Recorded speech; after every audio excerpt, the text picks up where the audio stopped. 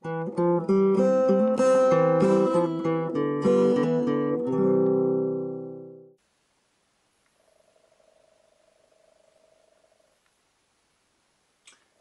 Petra, hör mal, was isst du gern? Ich? Na ja, ich esse gern Gemüse. Was für Gemüse? Tja, ich esse gern Karotten natürlich, aber auch Spinat, Radieschen, Kohl und Gurken.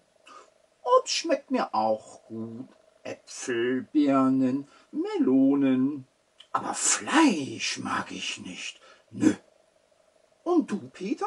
Was isst du gern? Ja, ich esse gern Hamburger und Pizza. Aber Pommes mit Ketchup und Mayonnaise esse ich am liebsten. Und Obst und Gemüse?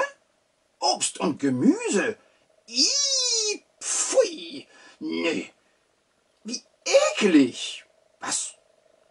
Du, ein Hase, isst Hamburger und kein Gemüse? Du bist mir aber ein komischer Hase. Weißt du, Petra, äh, ich bin ein moderner Hase.